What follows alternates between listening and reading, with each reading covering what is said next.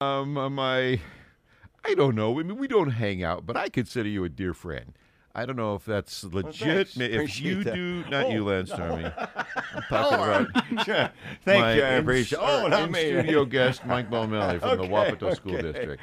Um, but I just, I do. I just, can a guy say this? I adore this guy. He's just the coolest. Well, we are dear friends, we, and we have been since what back. I don't even know if we want to say, do we? double-digit decades. Yes, right? Let's yes. we'll leave it at that. Um, but Mike is back uh, to talk about the Cultural Unity Fair, and he brought the cheese, the big cheese. Erin Gonzalez is here. She's the uh, organizer of uh, Wapato's Middle School Cultural Unity Fair, and as I recall last year, another victim of COVID nineteen, right? And so, uh, Erin. Um, we're going to do two fairs in one this year to make up for no, make up for last year. What do you have planned? Because we're still not a you know a hundred percent uh, back to normal, so Right. a bigger job for you. But it's important to uh, you know it's how long has Wapato been doing this forever, right? This should be 39 years, but this will be the 38th since we had to skip last year. Yeah, I mean that's that's a tradition that you don't want to just walk away from, and so you're not. Um, and so let's remind people what on a normal year, historically speaking, what has the uh, Cultural Unity Fair been like? So on a normal year, the doors to the middle school would open at 4:30, and then people would enter into our gym. And in the gym, there would be five different booths set up, one booth for each of our cultural clubs, and each of those clubs would be serving five to six items from their culture. And so it's just this big food fair. People walk around with tickets, and you exchange tickets for food items. Now, clubs, so there are actual groups within Mm-hmm. the middle school that, that meet at certain times and talk about things important to their cultures, or how does that, what's the Yeah. background for all of that? Yeah, so we have AYO, which is our Asian Youth Organization, Filipino club in the building. We have Mecha Club, Native American Club, Euro Club, and Cub Club. It's like the school spirit club. Cool. So they meet throughout the year, and then each of those same clubs um, puts together performances. So in the gym, you would have all the food. In the cafeteria, on stage would be performances from each club, running from 4:30 to 7 o'clock at night. So in the cafeteria where you'd normally have food, you're Yeah. having entertainment. Yeah. And like in the gym where up. you'd normally be entertained, you're having food. Is that Makes what you're telling me? perfect sense, right? I like it. That's, that's my You weren't kind, supposed to point that out. my kind of setup, though. it's it's calling to me. They to do just- get to bring their food with them to the cafeteria. Okay, to watch the performance. To watch the performance. So you're basically uh, doing a big old paper plate and just load Yeah. it up as you go, and Yep. um, and tickets are, I suppose, really reasonable. But the monies go to support the activities of these clubs, or how, what is it? How does that work? Um, the money brought in from Cuff basically funds Cuff for the next year. So there isn't much profit out of it, but enough to run it 39 years in a row.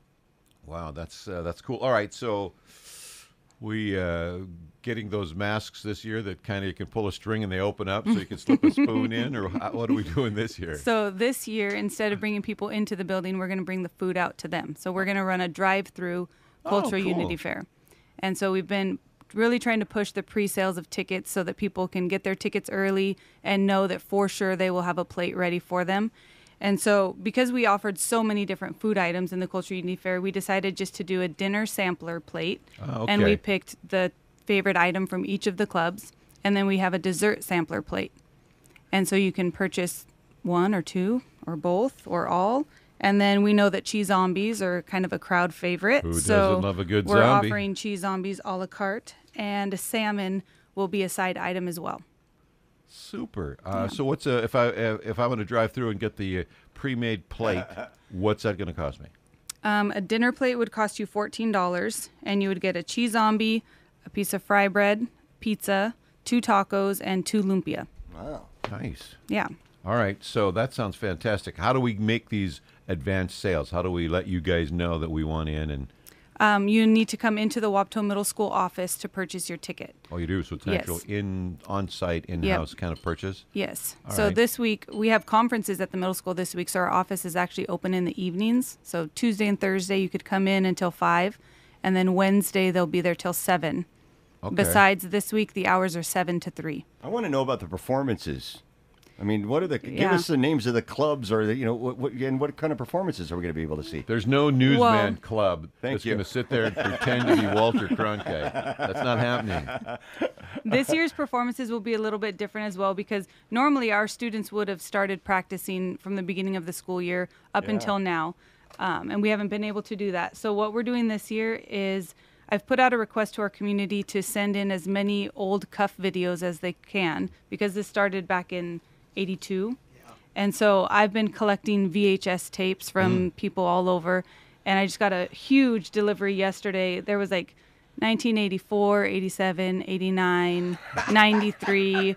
Um, at one point, our performances had taken us to the Capitol Theater. So we used to sell out the Capitol Theater remember that. three Yeah. nights a week. And so I got 1997. We were there. I got that cassette tape yesterday. Cool. It's kind of funny because the students see my VHS and they don't know what it is. Well, yeah. And where do you Oh, put it? get out of here. They don't know what it no, is. Nope. And Oh, what what God. happens if that ribbon breaks? Oh my Then God. Was a who do we know I that had. used to edit that ribbon?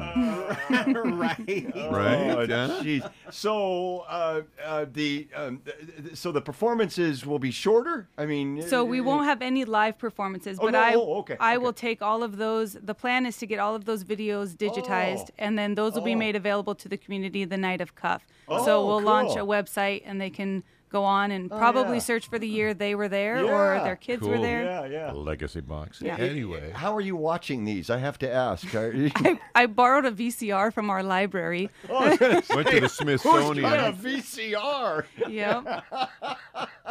yep. How many VCRs were in your library? There were a few. I could only find cables to one. Okay. So we've got one VCR working, and then I have a coworker who's getting them all online for yeah, me. excellent. That Great is really idea, cool. Great idea. A great way to look back. Awesome. I even had someone drop off an episode of Real People where they had interviewed our principal People, back in I think 84 and they talked about the history of cuff and so it was I have that episode Wow. that will be on the website as well. Nice. So in a, it's your kind of uh, it's kind of like the state fair's drive-through fair food thing in a way, Mm-hmm. right? Yeah. Yeah. Yeah. Well, excellent. Um, so the actual event itself is when? April 1st. April.